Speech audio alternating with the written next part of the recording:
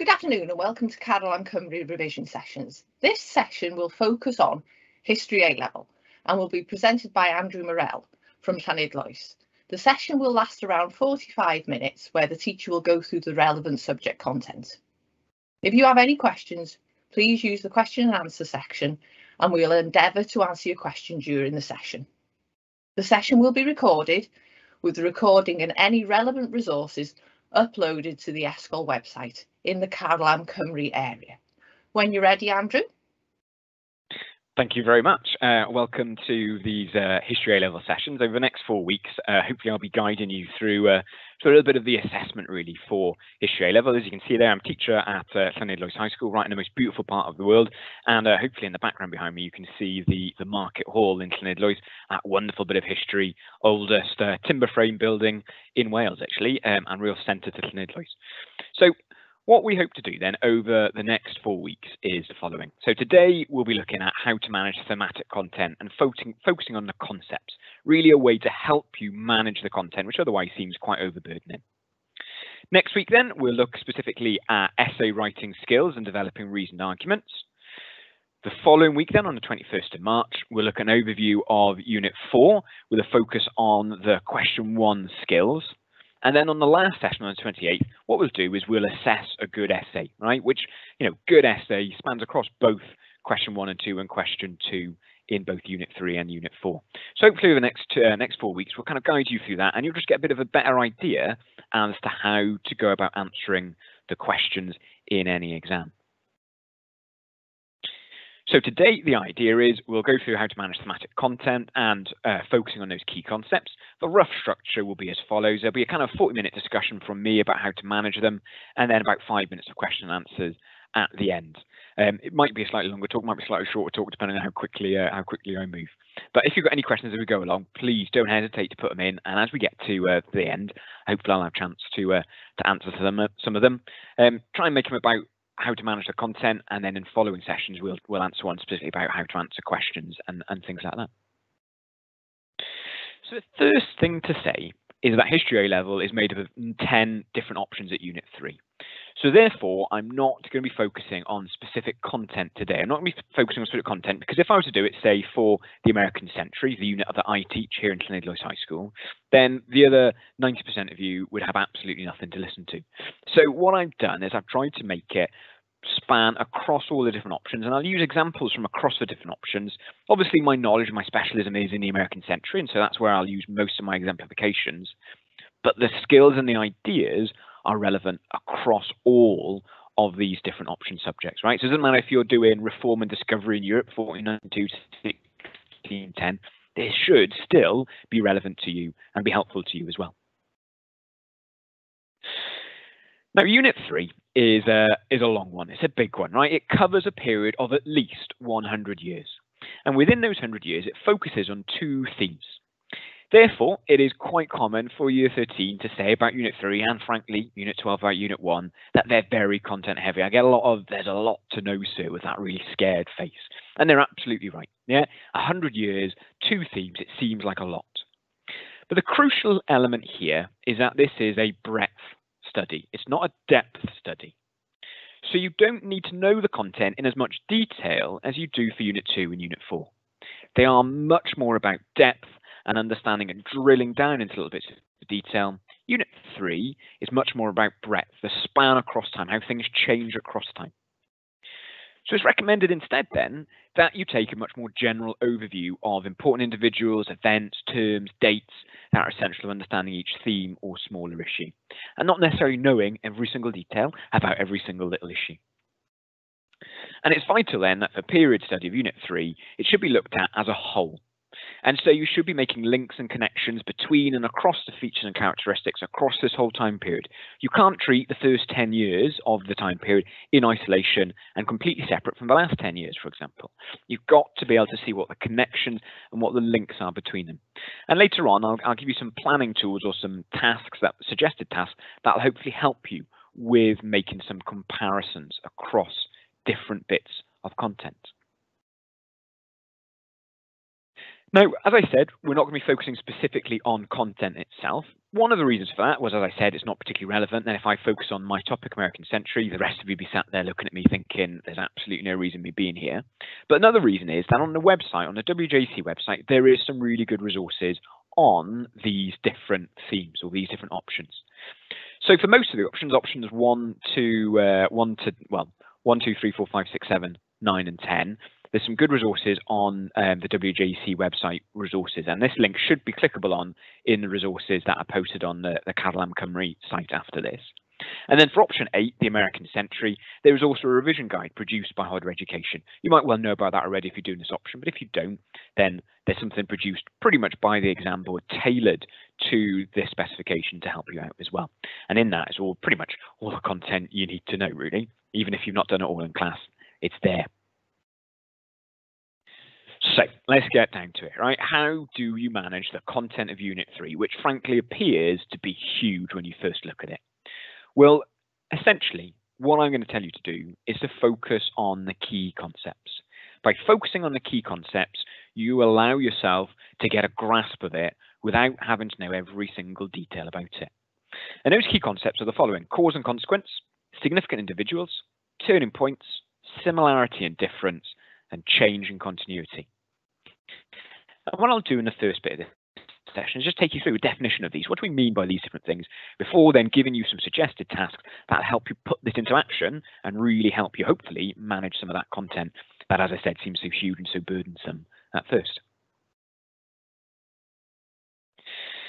Now this is uh, this is really coming from the exam board, right? In terms of these thematic or key concepts, right? As you can see here for the American century, and also here for another example, poverty, protest and rebellion, theme one, poverty, vagrancy and the poor in Wales. What the example board do is they actually provide you via this link at the bottom here, which again should be clickable in the resources, provide you with a breakdown of all these different things within those key concepts. So as you can see here, for example, in cause and consequence, you've got the Poor Law of 1495, role of the church in providing relief, poor laws, enclosures, poor law 1601. In terms of turning points, you've got the paupers, the dissolution of the monasteries, the statutes of artificers. I think I said that right, and uh, uh, of 1563. So it's giving you what kind of is posting you in which direction in which you should view these as. But we'll go through these together and I'll help you understand what each of these mean before then, as I said, some suggested tasks to help you. So cause and consequence. Well, what do we mean by cause and consequence? Well, a cause is something that made an event happen in the first place, whilst a consequence is a result of it, something that comes after the event. Now, an example here, right, is Russia and its invasion, unfortunate invasion of, uh, or attempted invasion of the Ukraine. Now, if we to think about it as a cause and a consequence, we're thinking about the cause. It could be that Putin saw Ukraine's request to join the EU as a threat. Right? That could be one of the causes, one of the reasons why Russia has attempted that invasion. And a consequence, absolutely undoubtedly, the unnecessary suffering by ordinary people. So if you look at it in that context, you're not thinking about needing to know every single detail about the invasion of Ukraine by Russia. It's looking at the causes, what made it happen in the first place, and the consequences, what some of the results of it might be. Not what happened on what date, what uh, what so and so said about it. It's not as encompassing as that, it can narrow it down for you a little bit. I hope you narrow that focus down.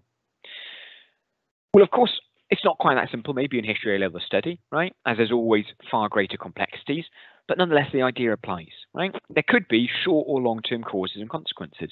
Things that happen in the short term after an event, or things that happen in the long term, 50 years after the event. There are obviously more and uh, more significant and less significant causes of events. Something that's more likely we are to say that it caused it, and stuff that we kind of, yeah, maybe it might have happened, might not have happened without it, but it's not the thing that really caused it. And also things that happen as a result, we can break down into positive and negative. And these are all things you can do with these events, right? You can think about the positives and negatives of the consequences of the historical event. Now, example of this, right? could be the effects of the Black Death in Wales, right? This comes from Unit 3, Option 1, right? And um, in that, we can think about, right, causes. How was the Black Death spread? Was it through the port towns of Carmarthen and Pembroke, or was it, as they thought maybe more so at the time, the manifestation of evil, right? People in these towns, in these places, had done bad things, and so God had punishment, punished them for it. And so that's looking at the causes, consequences, right? What were the effects? Were the economic hardships of less people to till, to farm the land more significant than fewer monks about to sustain the importance of the church within Wales? Possibly, possibly not. The significant, insignificant. But you can see again, it's not about knowing everything about the Black Death, not knowing about every detail about the Black Death, how many people died in each town and what the symptoms were and all of that. It's about the effects or the, the causes and the effects, the consequences. And if we have a look at this essay question here, right, come exact, you know, directly from the exam board, I haven't made it up or anything, for option two. The question says the most significant cause of poverty and vagrancy in the period 1509 to 1553 was enclosure. Discuss. So it's not looking at you to describe and talk about everything in the period 1509 to 1553. It's asking you to look at the causes. And so this helps you to deal with all that content, doesn't it? Second element being significant individuals, right? Significant individuals. How important is that individual in comparison to others working on similar things? Now, in your heads now, when you're thinking about the unit you're studying, you're probably thinking about some of the people that you've come across. Now, an example here, right, is Boris Johnson's handling of COVID-19. Is he a significant individual? Is he more significant to the pandemic and the results of the pandemic than the scientists? Is he more significant than the other leaders of UK nations, Mark Drakeford, Nicola Sturgeon, Paul Givan of Northern Ireland? And by making that comparison, you're not you're narrowing it down, aren't you? You're not thinking about everything Boris Johnson has done to handle COVID-19. You're thinking about was he more or less significant than someone else, than the scientists and the other UK leaders. So in terms of history, again, of course, maybe it's not quite that simple in your history A level, as there's always greater complexity, but we can compare an individual's role in similar, not it's never going to be exactly the same, is it, but similar circumstances, maybe certain wartime leaders, maybe leaders facing the same religious change or the same social upheaval. And how significant was their impact in reality, right? Not what was every single action that they took, right? It's not a case of learning and knowing every single action they took, but what was their impact. And so an example from uh, option 10, Russia, right? One of the people named in the specification is Pyotr Stolypin. So we could think, did Stolypin's policies of reform and repression have that big an impact in reality? Were Stolypin's actions better placed secure government authority than, say, for example, Lavrenti Beria in the 1950s? By doing that, you're not thinking about, I need to know everything about Pyotr Stolypin. You're thinking about, was he more or less significant than others? Did he have more, more or less of an impact? And to exemplify this again in terms of, you know, ultimately what the exam board looking for, well, here we go. Here's an essay question from the exam board from a past paper a few years ago. How far was John Calvin the most significant influence on the spread of Protestantism between 1521 and 1559? So it's not an essay question that says, uh, what were the what actions that did John Calvin take that meant uh, Protestantism spread in the period 1521 to 1559? You'd have to list all the kinds of things that he's done. It's about how significant was his influence. It's not needing to know everything about him, to know about the significance and that alone. So is our turning points, right? How fundamental was the change brought by brought by this event? Is it fair to say that that change was permanent because of its long-term impact? And an event we might, uh, well, we would have heard of uh, in the news in a couple of uh, last couple of weeks is uh, Roman, Roman Abramovich selling Chelsea Football Club, right? Particularly due to his connections in Russia. So that's an event, isn't it? Is it a turning point or not? Well, we can answer that by will it change the ability of Chelsea Football uh, Football Club to buy and sell players and fundamentally change how he, the club, is viewed in Britain? If it is, then that's a fundamental change and that's a turning point, isn't it? So, in terms of history, again, it's not quite as simple as that in uh, in history. There are always far greater complexities, but nonetheless, the point still stands. And therefore, turning points need to reference whether or not the change has a sizable impact in the long term. Does it really fundamentally change how things are? Because if it doesn't, it's not a turning point. If, you know, a week later it hasn't changed anything, it's not a turning point. And so example, right, from the American Century, option eight, which I'm, I'm looking at, right, um, the Cuban Missile Crisis. What we've got to think about this is, was this near nuclear disaster really enough to be the event that ended the concept of mutually assured destruction? If it is, then we can say it's a turning point. If it isn't, then maybe we say it's just an event rather than a turning point.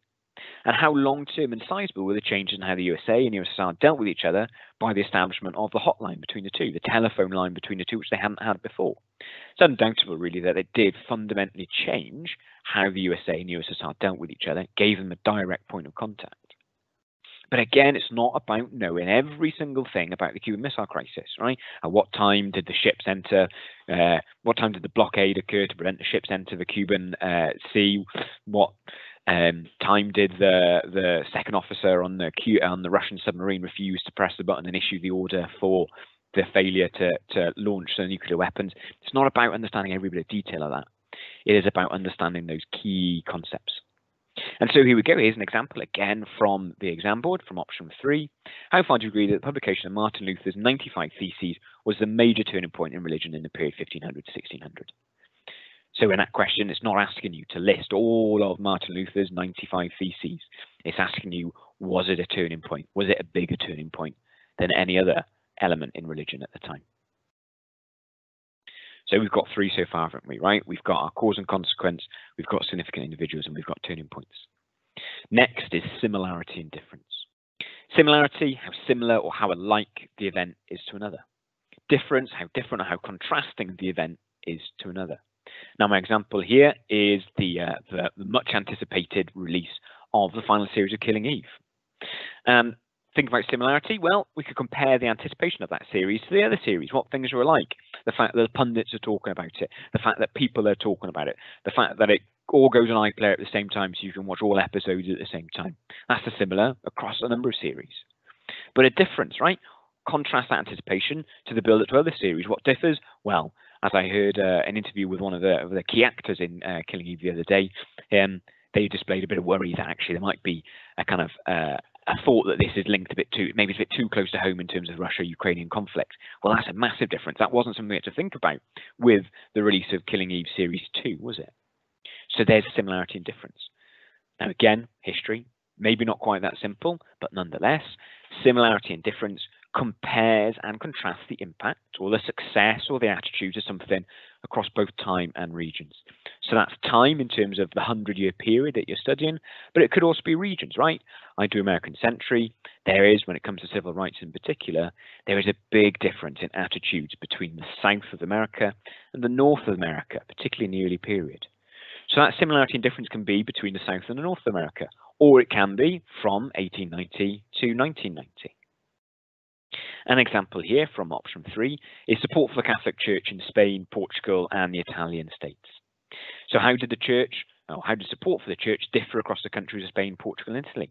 Right, you can look at the similarities between them, between how it was in Spain, how it was in Portugal, how it was in Italy, but also the differences. How did the support within those countries change over time? Right, the support isn't going to be the same. It's not static, is it? Is there something similar in the support for the church across these countries, something that unites them? Are there differences in support for the church within one of these countries? So again, right, it's not knowing about everything to do with the Catholic Church in Spain, in Portugal, and Italian states. It's about understanding the similarities and differences between them.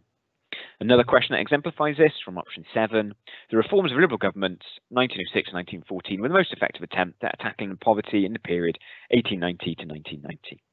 What it's doing is it's suggesting attempts to change and tackle the problem of poverty between 1906 and 1914 may be very, very different from attempts to tackle poverty in, say, 1980.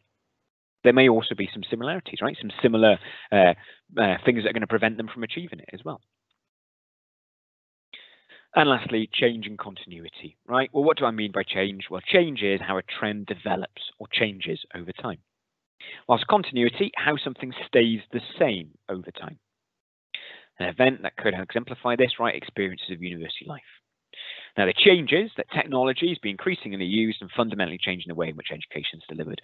Uh, you speak to anyone in university, right? Over the last three years, they'll have gone from sitting in lecture theatres all the time to now doing stuff behind their computers online. That's a fundamental change, isn't it? But there's always continuity. There's always something that runs through it the same. There's always that shared experience of being somewhere new and the sense of moving forward with life no matter if you went to university in 1910, if you went to university in 1990, or you went to university in 2018, you're always sharing that experience of somewhere new and moving forward of your life. And right, may not always be that simple. In history, there are greater complexities, but nonetheless, it refers to things that cut across different forms of government and across time, like attitudes. Attitudes can change and they can stay the same. Policies can change, stay the same. Ideas, experiences, they can stay the same or they can change. Attitudes, again, you know, going back to uh, to civil rights, attitudes towards many of the communities in America changes over time. But there may be a continuation of an attitude by all those communities towards the government. They still view the government with suspicion. Another example here, right, from option five, the changing foreign policy of France, 1715 to 1815. So, to what extent then did the Ancien regime, revolutionary governments, and Napoleon continue the motive in French policy to secure natural frontiers to ensure the security of the state? All three of them did to some extent, and that is a continuity, something that stays the same. They did it in very different ways, right? What they actually did on the ground is very different than there your changes. But nonetheless, right, it's not about knowing every single element of foreign policy in France between 1715 and 1815. It's looking for those similarities and those key differences. So again, right, another essay question that exemplifies it. So you don't think I'm just making this stuff all up, right? It is going to help you in exams because this is from the exam board. To what extent was social change the most significant development in Wales in the period 1240 to 1284? Social change.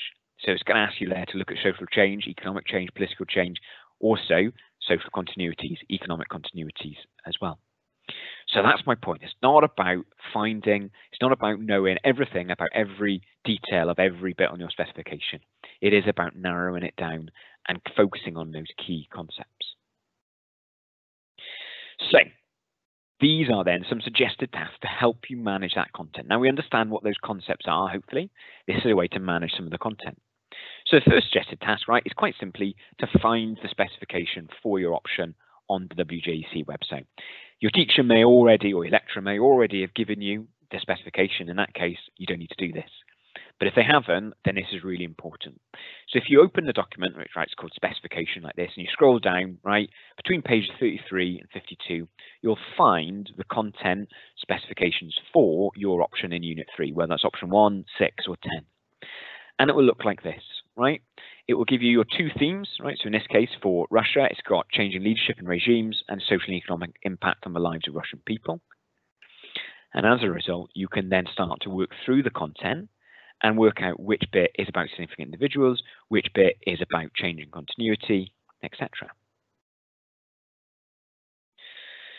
Now, to go through this, I'll, I'll, give you an example of this in a second, but this is then what you can do with that content, with that specification, in order to start to do what I say, to identify what it is you need to know about it, and not just think, I've got to know everything about all of this.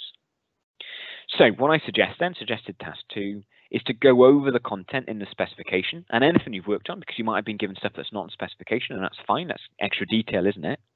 And identify which elements then are which key concept, which is talking about cause and continuity, which is, uh, sorry, cause and consequence, which is talking about change and continuity, significant individuals, turning points, similarity and difference, etc. And these can be in many ways, these can be quite straightforward, right? For example, in option two, where it talks about the Western Kett and Wyatt rebellions, is quite simply what the cause of it, what's the consequence of it. You don't need to know about change and continuity. You can't compare these necessarily to other rebellions across the time. It's what are the cause and consequence of them. Voltaire, about uh, in option five, France, about significant individual. So again, it's not about knowing everything there is to possibly know about Voltaire. It's about what makes him a significant individual. Option 10, right, uh, 1917 uh, revolution, uh, looking at as a turning point. It could also be a cause and consequence, possibly, right? But there is a fundamental change afterwards, which makes it a turning point. The fact that we have the Bolshevik regime come, about, come out afterwards means that we can really refer to it as a turning point. And option 10, again, right, for example, a cult of personality under Brezhnev. Similarity and difference as you compare it to a cult of personality around the Tsar and around Stalin as well, right? Two other key figures during the time period. And therefore, crucially, what you're doing is you're ensuring you focus on the key concepts and not wasting time knowing every detail about every event. Firstly, your brain will never ever cope with every detail of every event, right? Secondly, you will never have enough time in the exam to write about every detail of every event that it's asking you to in the question. So it's not about learning every single key bit at all. So this then is a specification for theme two within the American century, making of the American superpower. So if we're thinking then about significant individuals, right, we can see here that we've got FDR or Franklin D. Roosevelt listed as a individual here. And so he is a significant individual. And it's only about his idea, about his role as a significant individual in which we could focus. Um, same here for, quite possibly, Reagan, right? Now, if I should change the color then and say we go purple for, let's go cause and consequence. Well, American imperialism in the late 19th century, we're thinking definitely about the cause and consequence of that, right? The cause of why America becomes imperialistic and also then the consequence of it. It's not a significant individual, right? It's not a turning point. It's not a change in continuity because it's only it's on one uh, one time period. Um, if we think about turning points, right? So let's do turning point in a different color. Let's go turning point as green, say, right? Entry into the First World War. That is 100% a turning point. Entry into the Second World War, again, 100% a turning point. And so what you're doing is you're understanding that I don't need to know every single detail about the First World War, about the Second World War, about American involvement. In fact, really, if you look at it, when it talks about the First World War, it doesn't necessarily tell you that you need to know everything about or you need to know much about the specifics of the battles that it fought in and things like that. It's about how it was a turning point that they entered. How did it fundamentally change American foreign policy to join in? So that's what I mean, right, in terms of going through and highlighting the specification in order to hone down. So I now know from that that entry into the First World War, it means I don't need to look at everything that happened as part of the First World War. To focus on that, I don't need to. Same with entry into the Second World War. I don't need to focus on every single detail of the Second World War.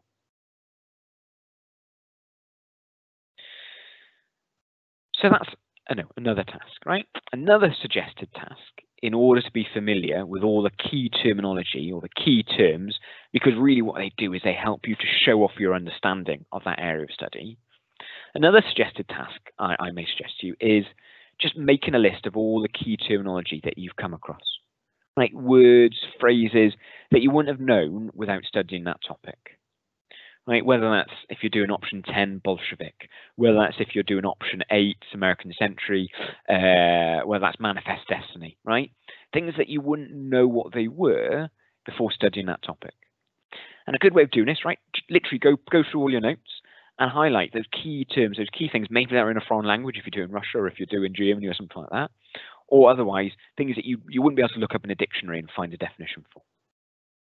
And by doing that, by showing you can define them all, you are again managing the content because if you can use a key term rather than having to explain it in a million bits of detail, then what you're doing is you are allowing yourself a little bit more breathing space when it comes to revision. So another example here, right? Option nine, Germany. You've got these are the key terms I'd say you'd come across in studying that that option: Weltpolitik, Volksgemeinschaft, autarky, denazification, Marshall aid, social market economy, the Bundestag, the Reichstag, the Kaiser, social democracy, Führerprinzip, Berlin blockade, Cold War.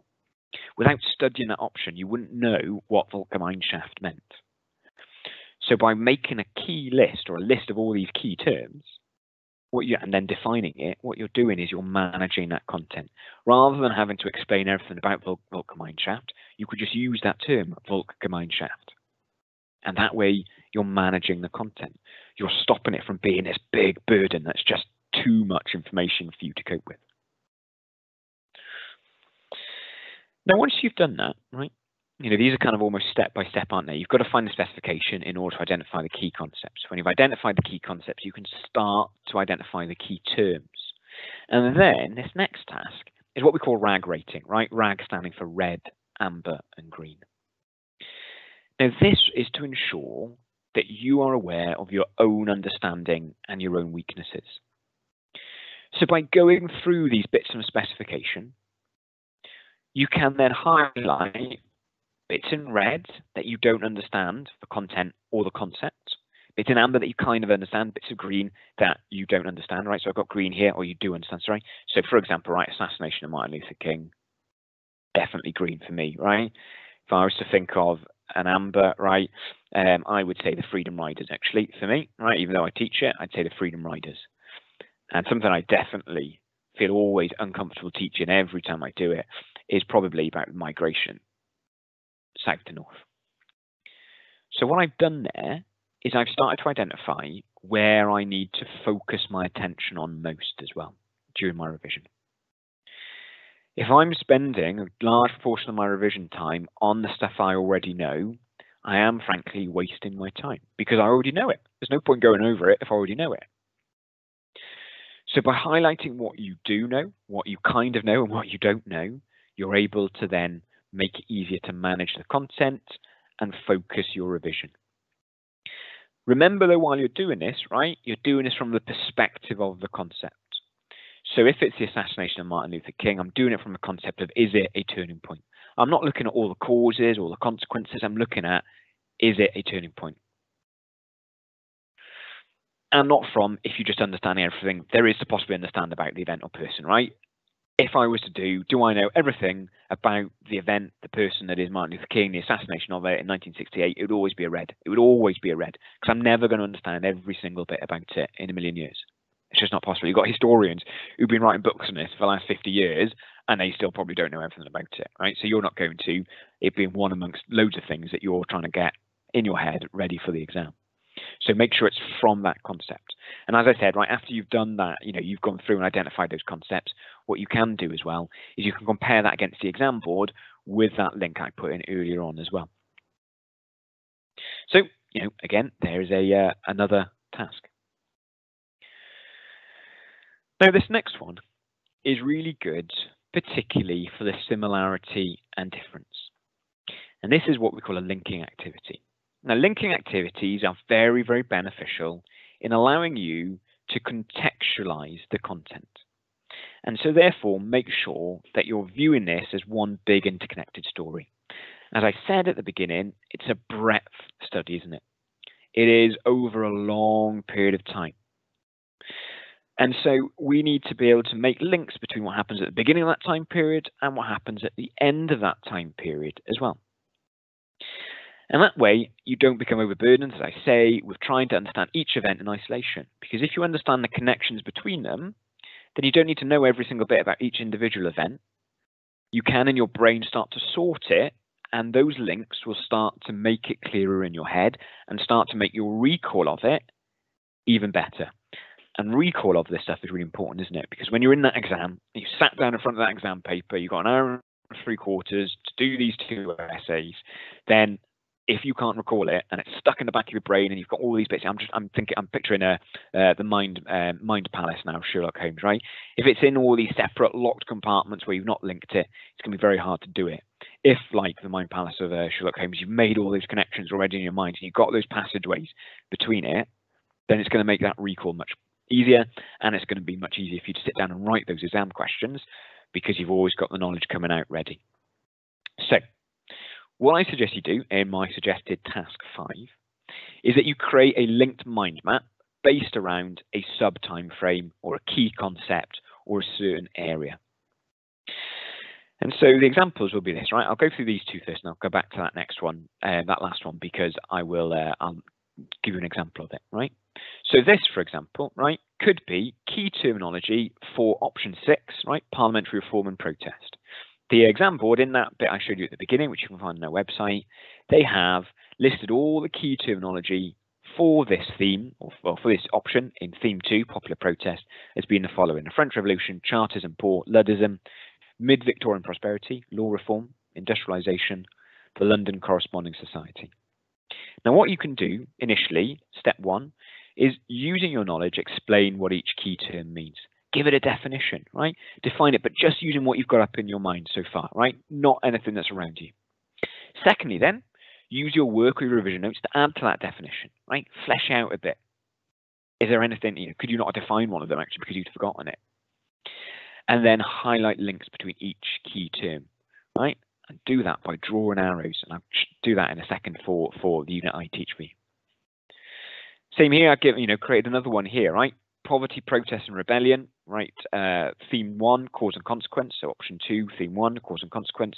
Well, these are what the exam board lists as the cause and consequences. Poor law, role of the church, the poor laws of 1531 and 1536, enclosure and estates management, and the poor law of 1601.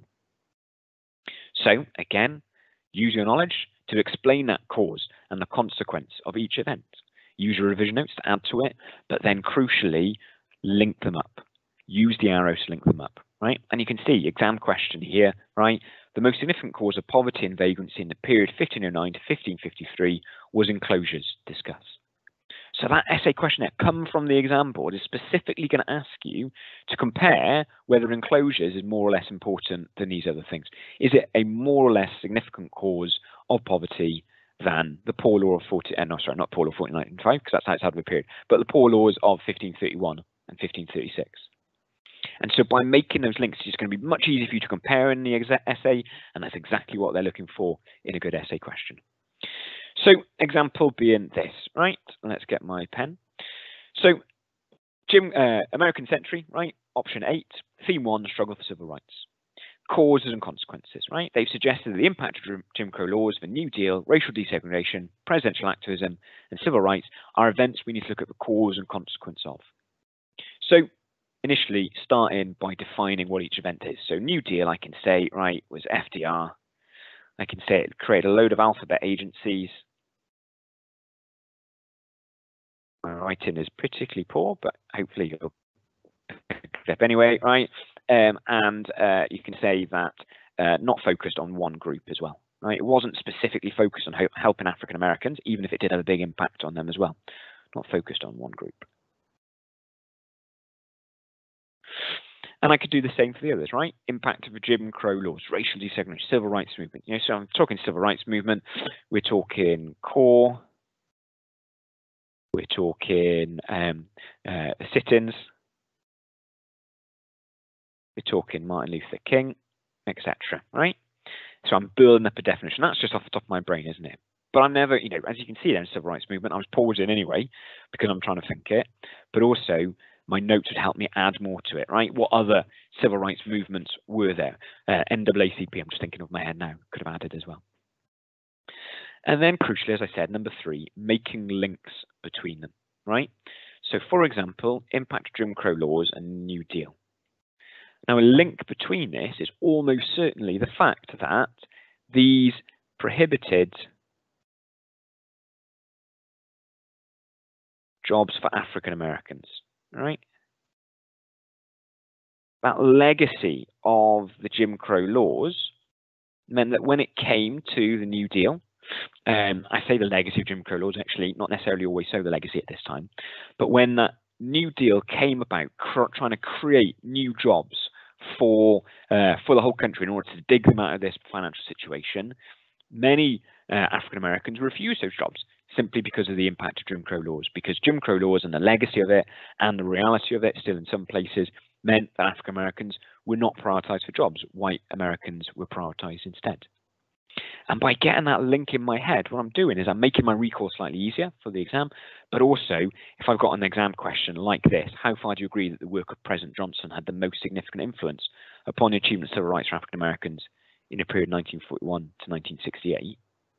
what I'm doing is I'm already starting to answer that question, right? Obviously, what I've done is outside this time period, right? But nonetheless, if that time period was 1890 to 1968, this would be perfect. What it's doing is it's creating that links in your head and it's helping you manage the content. It's helping you understand you don't need to know every little detail about the Jim Crow laws. You don't need to know every detail about the New Deal. When the New Deal is listed as cause and consequence, you need to know about the causes of the New Deal, the economic climate, the Wall Street crash, the role of FDR, and you need to know the consequences of it, the creation of the alphabet agencies, the fact that it did increase employment amongst many of the, the, the poorest communities in America, but that it didn't Im, uh, improve it proportionally any better in African American communities to Chinese American communities. And so you're honing in on that cause and consequence. And my last, I think, last suggested task for managing content is this, right? For each turning point or significant individual, highlighting the specification in those earlier documents, right? That's on the WJEC website. Go back to that colorful document at the beginning I showed you, right? What you can do is you can draw up the following, right? These are kind of spectrums, aren't they, right? Minor impact one side, major impact on the other side. Turning point, label it, what is the detail, given a detailed explanation. So here's an example, right, for my module. Okay, let's go turning point, World War One. It's listed as a turning point. I think personally, it is a massive turning point, right? So I can fill it in that much, right? And I'd be saying that that is due to the fact that it saw a spread of manifest destiny outside of America for the first time, right? Fighting for democratic values. Whilst World War II, I'm going to say, had less of an impact, right? Still fairly major, but less of an impact. Now, in my head, then, I know if I get a turning point question, I know that I'm going to say the World War One was more of a turning point than World War Two. World War Two didn't really change America, fundamentally change its values. It just saw it kind of getting involved in the European context again. And that'd be my detailed explanation, focusing on that long term impact. So again, it's a comparison tool, isn't it? That when you start to compare, you start to understand it a bit better. So here's another example, right? Um, this is from then option three, right? You know, publication of 95 theses or theses, sorry. Um, fairly major impact, but not as big as the diet of worms, 1521, which had an even bigger one. And this would help you with this question here. How far do you agree that the publication of Martin Luther's 95 Theses was the major turning point in religion in the period 1500 to 1600? Not a question I've made up, right? A question that's come from the exam board. So something like that would help you, you know, unbelievably in terms of making that argument as a revision tool. As a revision tool, it's something that can help you focus on those key concepts and make the content manageable for you, right? Your brain is only so big. Again, same, right? Significant individuals, John Calvin, uh, Ulrich Zwingli, maybe is how you say it, Martin Luther, right? Again, how was John Calvin the most significant influence on the spread of Protestantism between 1521 and 1559? Again, I'm doing the same thing here, aren't I? So I'd say my conclusion ultimately for this would be that Martin Luther had the most significant influence, not John Calvin. So that comparing allows you to do that. I lied, didn't I? That wasn't the last one. Got five minutes, that's all good, right? So you've been taught this unit thematically, not necessarily chronologically. I don't always teach it from 1890 to 1990 because that's not what the exam board are asking and that's not necessarily how they'll ask their questions. So a key way then to make sure your mind, um, sorry, a key way to make sense of it in your mind is to create a timeline. And this is crucial then to understanding the context of each item. Change, turn what your teachers or your lecturers have done with you into a timeline, and that'll help it cement in your mind as well, right? Another way to deal with this content, it helps you pull it all together. So, is an absolute whistle stop tool, right? The beauty of this is it's going to be uh, posted online under the Carlam Cymru, uh, just Google Carlam Cymru and it'll be there. And you can pause it as many times as you want in order to stop, do a task, move on, do a task, move on, right? That's the beauty of this. What I've tried to do is I've just tried to really, you know, give you an understanding of what they're looking for, give you some tasks in order to help you with that, to make sure that this content isn't just blowing your mind because it could be so easy for it to do, right? Um, when I first sat down to think, well, how am I going to teach this all those years ago, it blew my mind. But then I worked out I need to focus on this aspect, this aspect, and this aspect. So that brings us to the end of this. I'll have a look in a second to see if there's any questions. This brings us to the end of this, right? That's session one done right? Session two uh, will be next week, as I say, we'll be focusing on essay writing skills and developing a reason argument, whilst the week after then, focusing on unit four, and then the last one, looking at a good essay, right? A good essay, trying to break it down, what they've done that means that this essay is a good essay. So lastly, what asked me to all, uh, all I need to do is to see if you've got any questions at all. Throw them in the uh, in the chat, and uh, I'm sure Miss will uh, ask me those questions now if there are any at all.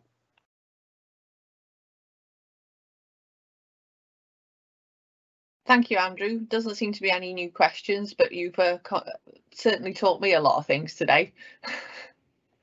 Good. yeah, yn fawr. Looking forward to next week. Dim problem gwbl. Um, diolch fawr uh, um, for, for coming on, guys, and um, I look forward to uh, seeing you again next week.